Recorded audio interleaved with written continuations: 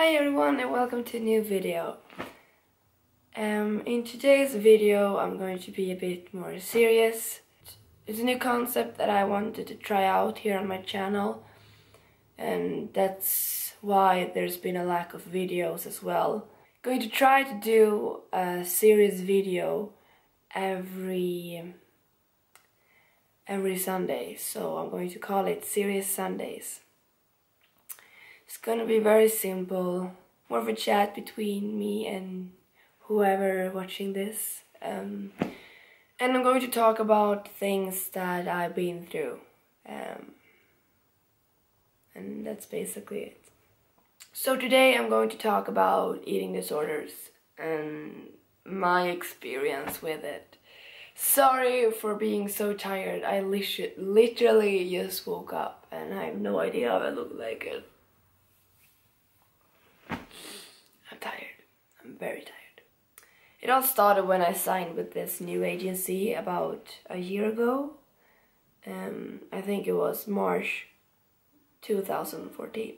And um, I was happy to be signed with an agency.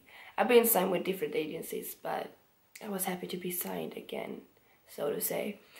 And um, I had a meeting with them and they told me that I needed to be in certain in certain like have these certain measurements. Um, basically they thought I was too big. Shocker!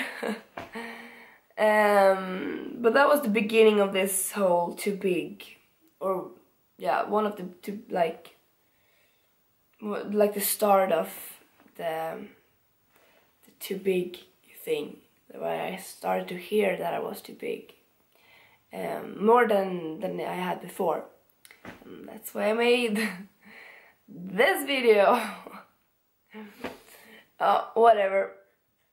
So the agency told me you need to be in these measurements to be in the high fashion industry you can be on the commercial side for the rest of your life and not care about measurements.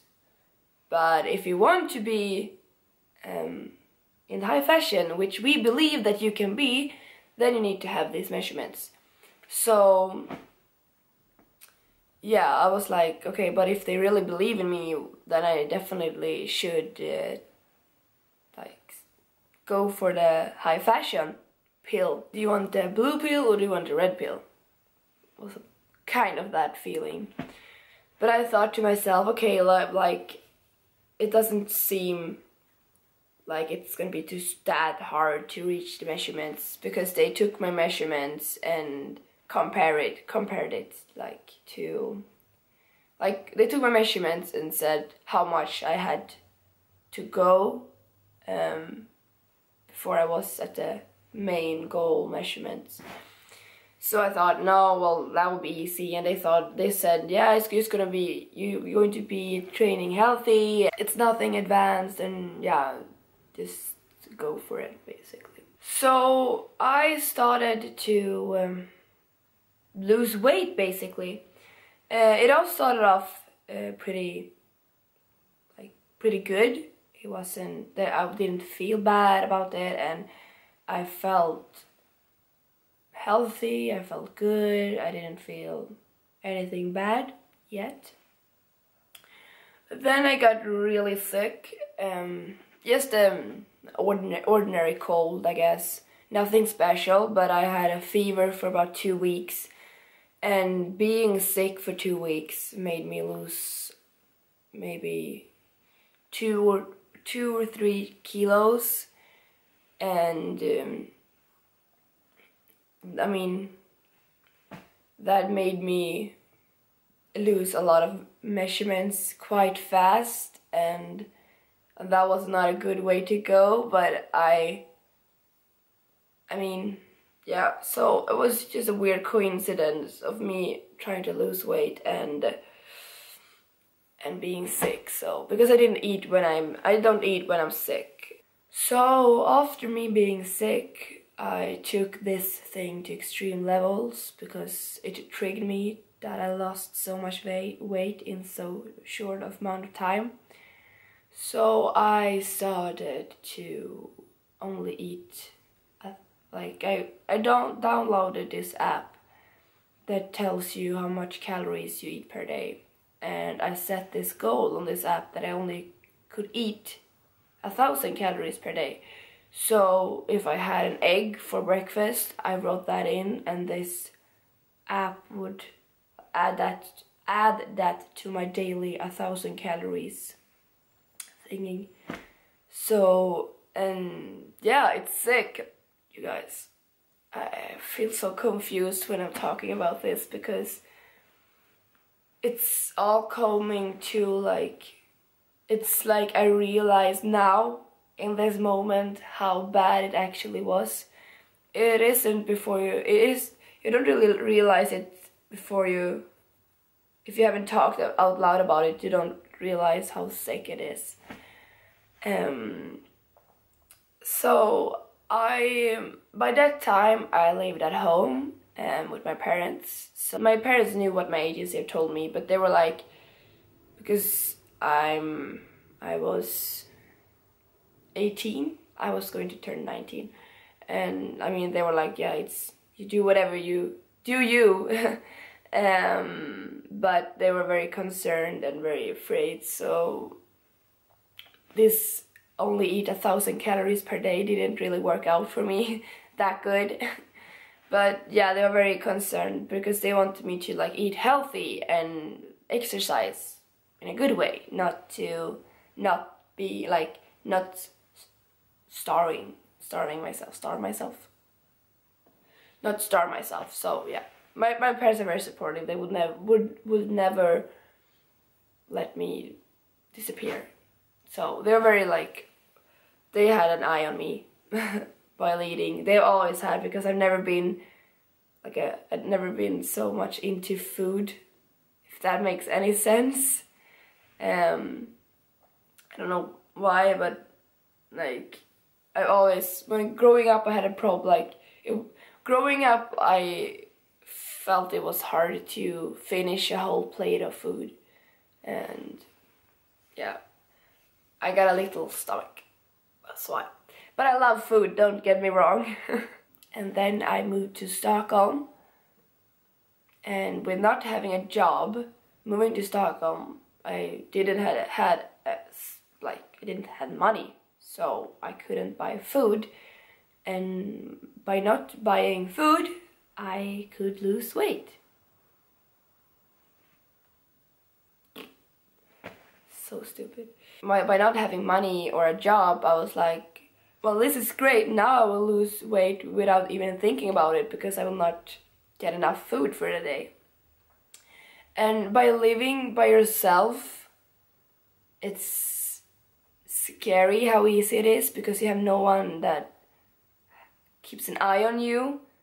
Um, and whenever my parents called, I was like, yeah, I'm going to eat this. And it, like, I just lied. I mean, and yeah, you get you you find your way, you find your ways to hide it, and like not talk about it or like protect yourself. Um, so as soon as I reach the right measurements, the sooner I will get booked for model jobs. So that's why I took this thing to extreme levels so there were days in my apartment where I only ate apple apple per day and then I could just ignore food for the rest of the day. It wasn't like a problem for me.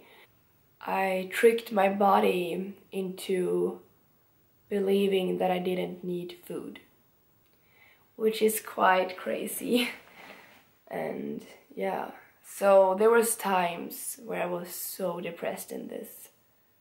I felt so bad by myself. I felt so bad about myself. I couldn't look myself in the mirror. I thought I was so big and yeah, like I got these anorectic thoughts. I never developed anorexia, but I I had and I, I had and I still have these weird like thoughts about me. So whenever I see myself in the mirror or in a picture that someone took of me, it can make me feel so sick and so anxious and it's hard. Like now when I'm thinking of it, it's just it's crazy what I actually did to my body for such a long time. Um, but yeah, uh, I didn't eat. I was very depressed and I had two very intense panic attacks. Uh, if you ever experience a panic attack, you know how terrible how terrible it can be. My first time I had my panic attack, my first panic attack, I like I was late I was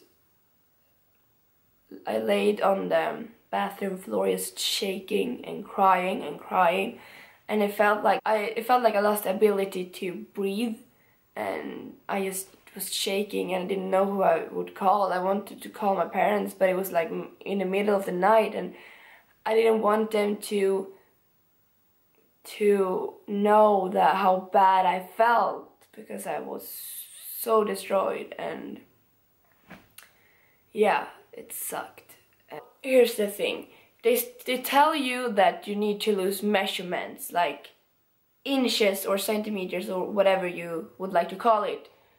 No, you will not lose weight, you will lose measurements. Whenever you want to lose mesh whenever you want to lose measurements by eating healthy and start exercising, you will surprise, surprise, lose weight. So they're basically lying. They're like, no, no, no, you will not lose weight, you will only lose measurements. It, oh, yeah. And that what that is what makes me so furious about this thing. Whew. Anyway, so around March this year, I the bubble burst. It was when I was going to uh, Greece. It was when I was going to Greece to build up my por portfolio, and I met these other models, and they were like. Some girls were in so bad shapes, like in like they were so so, so skinny, and they had so weird mind they have so they had such a weird such weird they had so weird thoughts about everything. Like about this life as a model and how it was good for them to not eat and all that. And it was like I got I got a bit of perspective. Like it was like I was watching myself talking because it was exactly the same thing I was going through but I couldn't really understand that I was going through the same thing. So when I came back from Greece I was like whoa this is not for me. Not that a model thing is not for me but just this this whole this whole thing about I, I like modeling, but I w I don't want to model if that means I need to destroy my body for nothing and maybe die on the journey to get there. You know what I mean? It's so finally the bubble burst and I was like, what have I done to myself? What year is it? What is happening? I think I went to McDonald's the same day and just ordered everything on the menu. And it was nice to realize that by myself and not that I went into a into some like uh, that I actually developed a severe eating disorder. I mean, it can gone so many ways and I'm happy that I realized it by myself that I was actually destroying my body. And yeah, so, and then I started eating and I was basically just ignoring my agency and then I, I quit my agency this summer when I posted the video about too big for the industry. And that was maybe, that was, yeah, that was the best thing that I could ever do. I have no, I have no like hatred against the people working on the agency. I really like the people there, but I could never live up to them. Like I could never live up to their goals for me. So I could never be that model they wanted me to be. So it was just easier to say goodbye and do my own thing. So yeah guys, um, hopefully I didn't ramble on about nothing, but yeah, um, if you ever feel bad um, about yourself in any way, talk to someone. Maybe have the best relationship with your grandma or your friend or your mom or dad, your sister or just anyone. Just talk to someone because it's a serious, serious issue and can't go around having all these crazy thoughts and just slowly destroying yourself. Um, be yourself. Don't let anyone else change who you are express yourself in any way possible and just be yourself and spread happiness.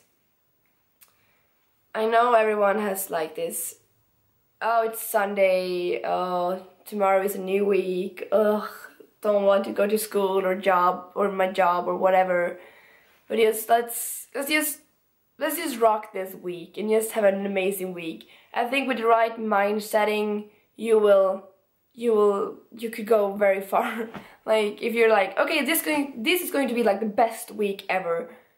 And then it's going to be the best week ever. It is what you make it yeah i'm here if you want to talk and if you feel bad in any way act now and not too late love yourself and just be be you that's the best thing you can do thank you so much for watching this video Thank you so much for tuning in and I will see you guys on I will see you guys next Sunday. Hej då!